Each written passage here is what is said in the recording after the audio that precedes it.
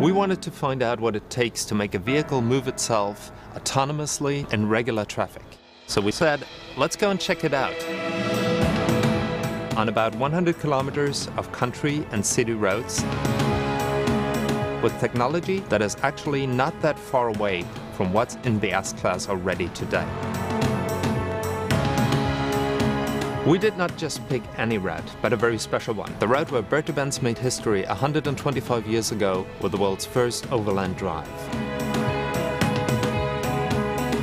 The challenges were enormous. From the smallest streets and little villages to big cities, we had everything.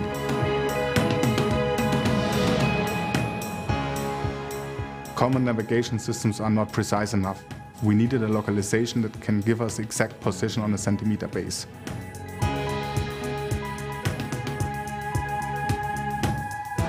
With cameras, we match the surrounding with data in our map 10 times a second.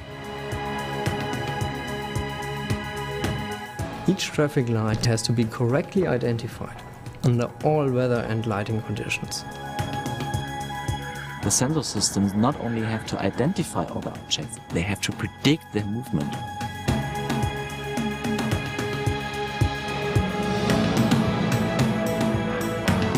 We must teach the vehicle to take the right decisions in all situations, reliable and within fractions of a second.